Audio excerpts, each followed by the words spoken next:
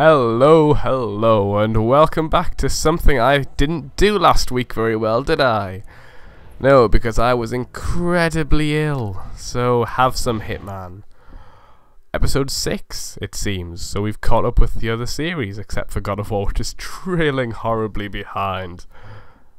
I don't actually know what I'm doing today. In the world of Hitman, I believe I'm breaking into a strip club and shooting a man in the face, and that's what I remember from the You're gameplay, right. but not the story. The arms dealer is after Victoria. I need to stop him. I still have a terrible cough, so if that turns up, sorry. You want my advice? You take that girl and you run. I never did believe in running. 47 shouldn't take trains where there are cameras everywhere. Saying that, I learnt the camera thing from GTA 4's just camera angles when you go on the train, so I should shut up. I need you along to spearhead the operation. Are you in? Wade. I heard you. There's Wade. He's a lovely man, and I have no idea what he's smoking. I don't even know if he's smoking it. He could be eating it. Tom is gonna call you, tell you how to find Because it looks like chicken. She's in hiding somewhere. Can you smoke chicken? That's a lot Well, of you can smoke chicken, I guess, but not in that way. must be special. I don't even know what it is. I need to bring my boys. Probably chicken in that case. feet. Actually, hmm.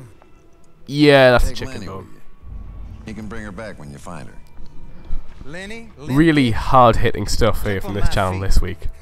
Sorry, the kid's a dipshit. One second. 39. Oh my. 26. Now that was a Seven. cough. 30. 35. Deal. Well, that's good to know. Lenny, come give the man a line. Lenny is Dexter's son.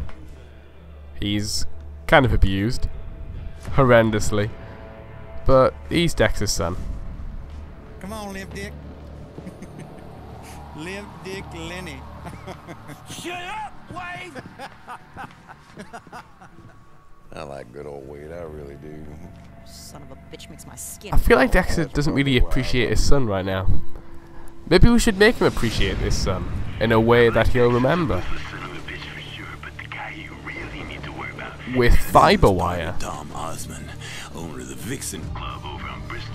Anyway, that's our target. He seems like a lovely fellow, and viewer discretion advised. You know, if the bit where I said uh, sorry, strip club didn't clue you in, I really cannot talk today. Terribly sorry. Like I've missed a week, and therefore my brain's just fallen out. And I said out the window. That phrase makes sense, so I'm gonna stick with it. Anyway, Hunter and the Hunted.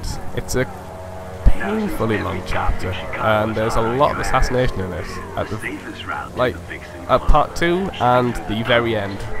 The very end is just the coolest thing. It's like a big orchestrated affair when you get to certain areas at certain times, and that'll probably be its own entire episode because it's gonna be hell to do.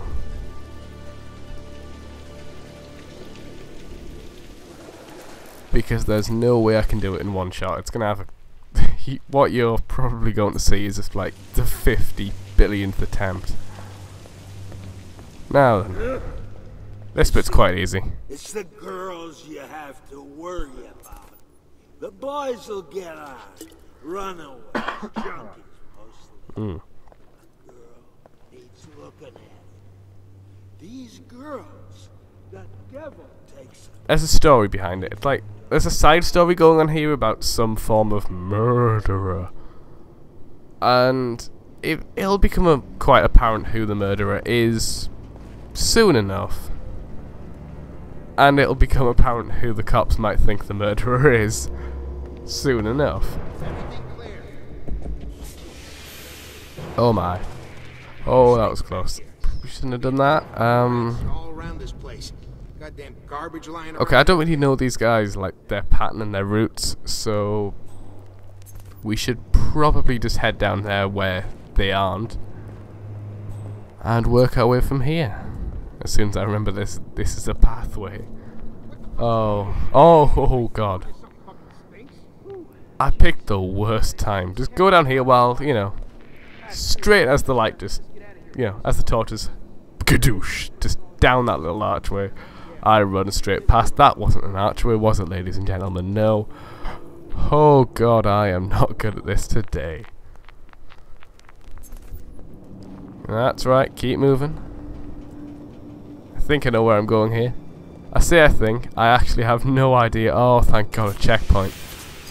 Just in case, because I might cock this up, I might, you know, I might pop out of a hole, like, say, this hole. You know, just as the torch goes, gadoosh, right in front of my face. And that wouldn't be fun, wouldn't Ooh! I didn't know I could do that. That's cool. you see, that's how you make a Hitman's life just a bit, a little bit more fun. Just to shake a bit of fire around in front of his face. I don't know why they're teasing me with an explosive barrel right now. This, I couldn't do anything with it. Do I go this way? I don't know why he's holding the bottle like that, because I'm not going to smash someone in the face with it. It's just going to be a distraction. Now, have I been this way? I'm not sure. I've gotten lost already. Mm, yeah. That's where it started, isn't it? Okay, so there are people up there, so we have to get up there, surprisingly. I don't go to this place very often because you can't really make a contract out of a place with two people. And it's just dull to be here. Well, I suppose you can because there's the upstairs area. So forget I spoke, but uh, no one makes contract out of this place, so, you know.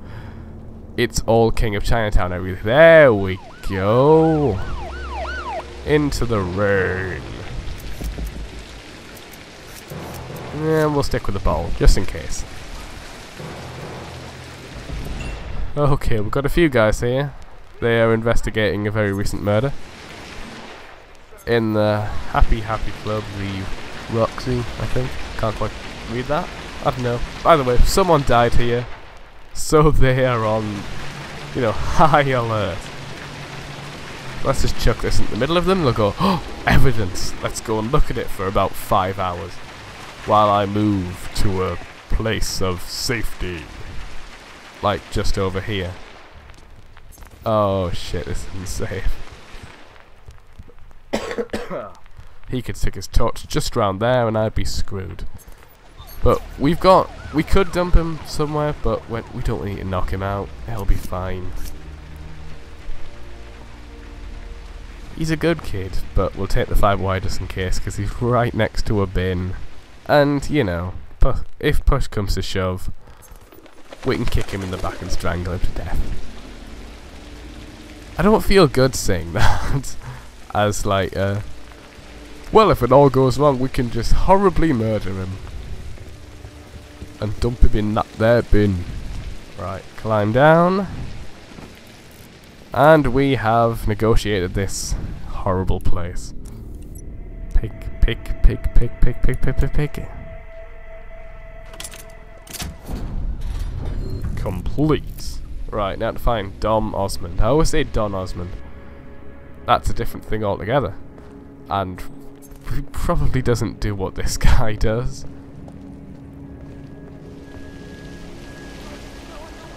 As you can see, the cops, they be investigating at the door right now. They're asking about the murder, and, you know, the bouncers aren't too happy about that because they're just awful human beings. I don't know if the cops are looking for me at this point. I mean, let's be honest, he didn't do a great job at hiding the 47 thing and after the fire. They could still be wanting to, you know, shoot me in the ass. So let's head up here, go through the back entrance, which is surprisingly easy, and, you know, avoid him.